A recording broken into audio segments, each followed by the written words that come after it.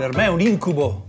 Ma perché la zucca deve far paura? La zucca è buonissima, mette allegria, calore, deliziosa. Volete un esempio? Cominciamo tostando bene il riso in una casseruola. Intanto tagliamo pezzettini gli ingredienti. Ok, ora mettiamo tutti gli ingredienti assieme al riso. Aggiungiamo un filo d'olio li facciamo sfrigolare insieme. Quando è tutto ben caldo possiamo aggiungere il brodo e dar così inizio alla cottura che durerà circa 13 minuti.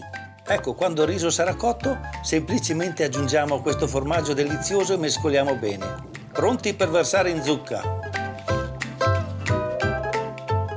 Vedete? La zucca sta bene col sorriso e con il riso.